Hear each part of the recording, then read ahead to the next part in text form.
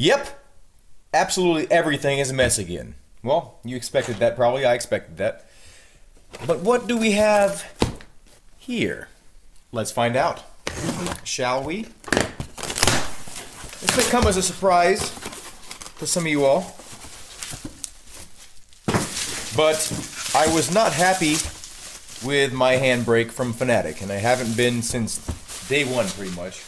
So I finally got a hold of this unit here. Uh, it was kind of difficult to get a hold of because it was sold out a lot of places. But, oops, shit. Here it is. My new handbrake. It comes with like these extra pieces here. Well, not extra pieces, but well, some of them are extra, extra pieces. So you can adapt to other things.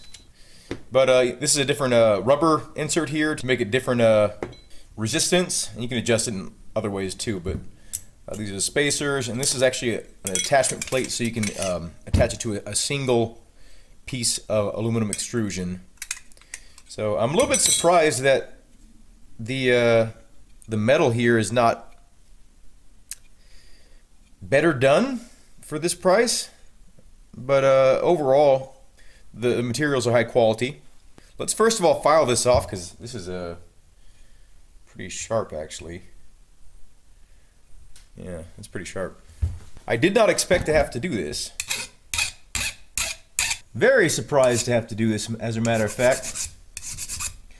You know, I heard Heusinkveld is like really top-notch stuff. I wouldn't think that they would allow this out the door with that big of an imperfection. But, you know, it was easy enough to correct. But there it is. Um, okay, let, us uh, assemble this how I'm going to use it. I'm going to use it in this orientation.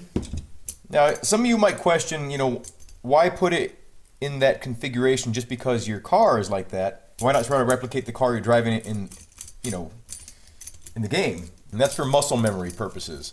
You know, I, I try to keep it as, as close to what I do in real life because I can transfer all of all that muscle memory to my real car, and then you know uh, I'll have less complications when it comes down to actually doing the acts that I've been practicing for. Because like I'll just my my body will know where to go naturally.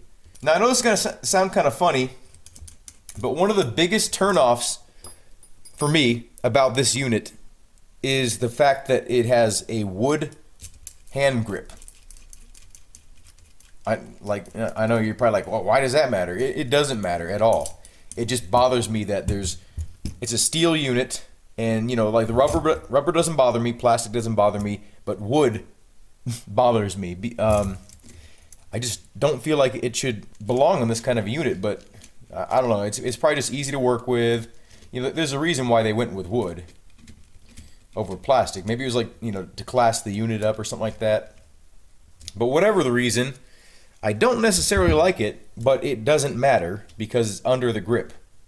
I absolutely despise um, USB 2.0. The connection is just, it just seems really fragile. And I know it, you know, it, it worked out for phones and stuff, and but it was frustrating, you know, like you know, at night when you're trying to plug something in. It's just not a good connection. USB 3.0 it would be much better. Um, this little box I know it doesn't need to do much, but this little box is, is not what I would consider a high quality piece. I mean, look, at, that's just not a good connection. Like, it's just not a solid connection. Anyway, um, it probably won't matter, and I'm probably just overthinking it. But when I think of a high quality piece of equipment, you know, you're only as strong as as your weakest component, right? and this is this is what I would consider a weak component. Like like it's it's rattly. It's not actually mounted in there. It's just kind of like floating in there. I don't I don't like this at all. It also doesn't seem like they included hardware to attach this to this unit. So I, I have to go buy some hardware to be able to use this. Um, unless it, they just mistakenly didn't ship it out to me. Like maybe it's supposed to yeah, I, I don't I don't have it. It's kind of disappointing. Not a huge deal, but it's an inconvenient. Like I don't know if I'm gonna be able to mount this um, until I go to the hardware store now because I don't think I have any six millimeter hardware. I'll see what I have. Well, here she is all rigged up. You can see the positioning. I have pretty close to the stick there. I just uh, put a little extension piece like that. And I'm surprised that th- this uh, rubber thing isn't stronger. I'm. It's it's actually not like, like you can get all the way to the end of the travel pretty easily, uh, and this is the hardest one. So, well, we'll see how, how it feels. Another thing I discovered I don't like about this is the grip.